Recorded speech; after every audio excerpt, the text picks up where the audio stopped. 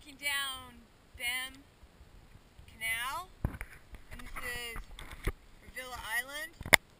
Ketchikan is right up there on Revilla Island, about 20 nautical miles from here, and that's called Twin Islands. And that's back where we were last night, back down that way towards Cape Fox. And no more sun. This is the typical, I guess it's more typical Wedge Canada.